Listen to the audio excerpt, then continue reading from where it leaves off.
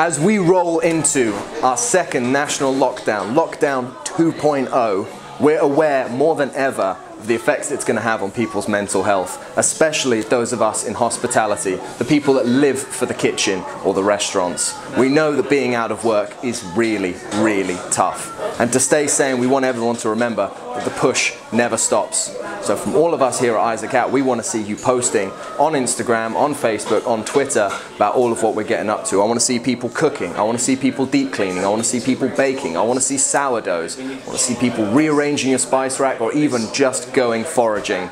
Remember that the push never ever stops.